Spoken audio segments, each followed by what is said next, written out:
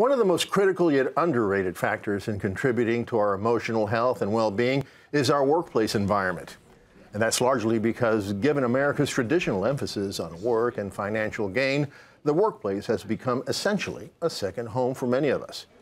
But is it really possible to create a culture in those second homes that will help us achieve not only successful but flourishing lives?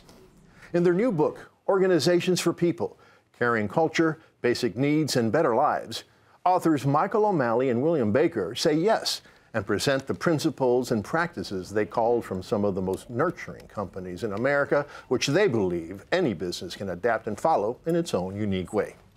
And joining us now is Dr. Bill Baker. Bill, thank you so much for joining very us. Very nice to be here. Thank you. It's a fascinating book, Bill. It's got so much in it. I'm going to try to narrow it down to the essence. Yeah, I saw that. I saw your copy. I, have never yeah, seen a book so marked. You know yeah. the book better than I do. I hope so. Let's see if I do. Okay. So, first of all, what does a people-centered organization look like? What are its defining characteristics? Well, I'd say first and foremost is a kind of authenticity and a uh, and trust and respect. Those are the big words. And if that's present, almost anything can happen. Uh, if there's fear, uh, if there's some kind of intimidation, if there's disrespect, it in the long run, and we have data like you can't believe uh, that research has been done on this subject over and over again by hundreds of scholars. It just doesn't work in the long run. Companies can do well managing by fear and intimidation, mm.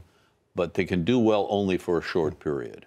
If you're in it for the long haul, uh, it has to be yeah. respect. So you know, one of the words you didn't mention, but it's it's problem, uh, predominant in the book is is kindness. Oh yes. You course. say that a company has to be kind in order to be ultimately a nurturing workplace. But you also say that there's a difference between being kind and being nice. Mm-hmm. What's the difference? Well, there's there's a big difference. Uh, kindness means more than just I, you know, acting acting friendly to somebody. It means something much more genuine than that. It means a level of respect that uh, that that just being nice doesn't do. Being nice often is artificial, yeah. and being kind is never artificial. What if you're a business in a very competitive industry? And all of your competitors, 100% of your competitors, are only focusing on the bottom line. So they have no qualms about overworking their employees so that they don't have to hire extra employees. And they have no compunction about doing the least they can about pay and benefits. Um, you know, I can see that in the long run, being a kind, compassionate, respectful organization, workplace, uh, will pay dividends but you got to go through the short run in order to get to the long run. What does a company that wants to do the right thing do under those circumstances? Well, uh, uh, first, we do have a lot of research that shows that if you're in a company where there's respect and kindness, even in the short run, you're going to do all right. Why is that? Because you're going to wind up having the best people the most productive people. People are going to work harder for you. They're going to take less bathroom breaks. They're going to use their abilities uh, to the fullest uh, if they're in the right environment. If they're not, if they're always kind of looking over their shoulder, I think a, good example is, is what happened in Wall Street. Many of the employees of those big Wall Street companies in 2007 mm knew that they that the Mercedes was going over the cliff, but they were so afraid to tell their supervisors because they thought they'd get fired or they'd get yelled at or they'd get intimidated that they didn't say anything, and they took um, they took the entire global economy down. Uh, so you so even in the short run, if you have a kind environment, people are going to work harder, and you're likely to be more successful. Yeah.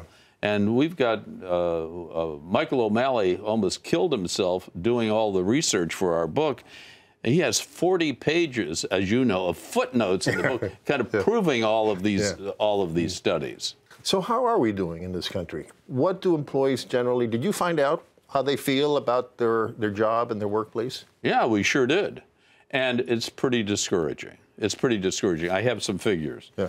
36% of the employees in this country say they have a dysfunctional boss. Dysfunction. That's a big word. Dysfunctional. It's even hard to spell. Uh, 75% of the workers say that their boss is the most stressful part of work. And a recent study in Canada had two out of five people quit because of a bad boss. NBC did a survey in 2015, said that most people would forego a 10% raise if they had a kinder boss. Really? So, uh, Why are we doing so badly? uh, it's because we aren't kind. It's what we spend too much time watching movies and TV shows where we idolize the killer boss. But what do you do? You know, people always gripe. You know, it's it's it's inevitable, even under the best circumstances. Even around here? Yeah, even around here, you take it. You know, I take it with a grain of salt when I hear that. But Mm-hmm. you know, there's some people I really trust, and the thing that I hear over and over again is, you know, I, I love my workplace. The top guy or Mm-hmm. the top woman is great, but my immediate supervisor is toxic. Mm-hmm. Right. Why why do so many good CEOs allow toxic managers and supervisors in the workplace?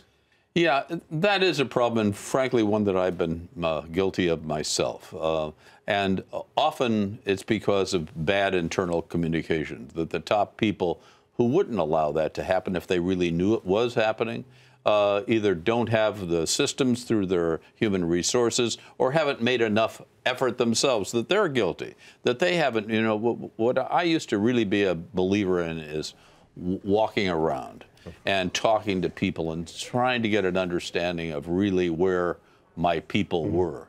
And uh, usually you can find out who the troublemakers are and who the uh, the uh, supervisors are who are not delivering or, or who are uh, who are not authentic. So, um, but the big problem is often you take, to, and, and I'm probably as guilty as anybody of that. Sometimes you don't, you, you, you try to give people more than a, than the benefit of the doubt, Yeah. and you don't move quickly enough to solve the problem, and that can be disastrous. So let's talk briefly. You know, you, you explored or analyzed 21 companies. First of all, uh, why did you choose those companies? Well, we uh, uh, the, the choice was by my industrial psychologist colleague uh, Michael O'Malley, who had been studying companies all over America for years, and uh, there are you know lists and studies that show who some of the better, more interesting and kind companies are, and he went and went after them. Unfortunately, in some ways, they're almost all all these companies are all pretty much private companies, but they're not teeny companies. They're not. They're, there's no company smaller than fifty million dollars a year in sales. So, what aside from what we've already discussed, what are some of the key lessons that that you came up with, or that you learned, that you called from these uh, from these companies that other companies can take advantage of? Yeah, well, I, th- I think one of them uh, is uh, a Chinese word "mo," kind of how we brush against one another, allowing people to better communicate, employees with one another and with their supervisors. The other is a German word, "vergonnen," which is celebrating the success of other people in your company. Uh, you do a great job. We're, we might be competitive. We might be both uh, have similar jobs at the company, but something good happens to you that I celebrate you. That's a sign of a really, uh, really healthy company. Uh, of course, kindness. Uh, you know, the feeling of, of of a place where you know that you're working with people that you can trust. And that's another element of, of, of kind leadership. It's not artificial. It's, it's, it, it, it, it is that you understand that you can trust your boss, hmm. that you might not even like your boss. You might not even like him, but you can but you feel you can trust him.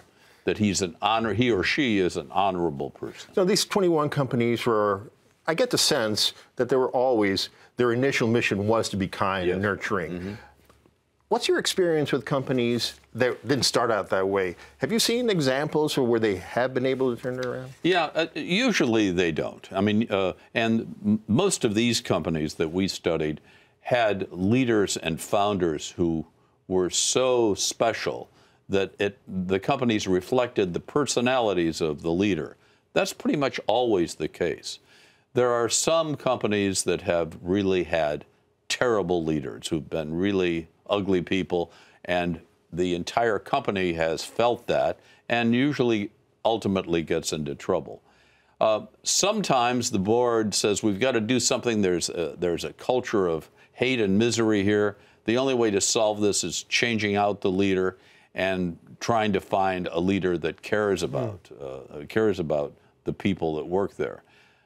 That can turn things around, and it has on a few occasions. But what often happens, and I see it all, often in Fortune 500 companies, I know these CEOs who are just nasty, evil people, and I say, oh my God, what about all the hundreds of thousands of people working for them? They're going to be paying the price, not this guy. He'll get a golden parachute because he will get fired, but uh, but it's all of these employees who wind up paying the price, and often the companies get killed, they get merged, or whatever. And that leads to my final question, which is, what's at stake? In the larger picture, not just for the individual employee, for the company, but what's at stake for the country? If things don't change, if we don't develop more of these nurturing companies. Yeah, what, what's at stake for the country is significant because, in the end, uh, and we can prove it with data, uh, kind companies do better. It will mean that uh, this country, this entire country, our civilization will slowly degenerate. Uh, you know, you think about other places. There, b- believe it or not, in a country like Germany, there are an awful lot of kind leaders of these kind of Mittelstand companies that are in the in the mid-size, some of the best companies in the world. And why are they some of the best companies in the world? Because they have leaders, they have a uh, they have a culture of caring, and unless we get more of that in America, we're going to see this comp- this country slip, and of course, we don't want to see that happen. Well, we'll get more of it in America if more employers read Organizations for People, Caring Cultures, Basic Needs, and Better Lives. It really is full of wonderful, very important information. Bill, thank you so much for joining us. Thank it's you, always Rafael. great talking oh, it's great to be great to be here and see you again.